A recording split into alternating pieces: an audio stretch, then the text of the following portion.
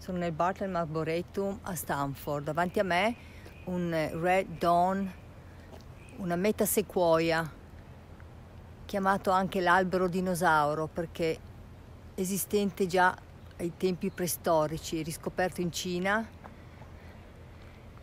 Un albero altissimo, molto vecchio e ha gli aghi morbidissimi. È di un colore verde brillante. Le pigne sono piccolissime per un albero così grande.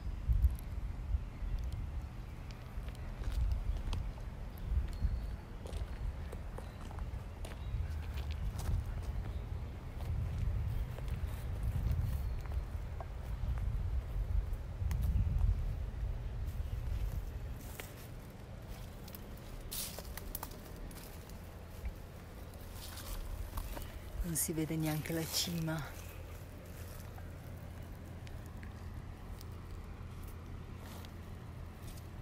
Una corteccia che racconta la sua vita.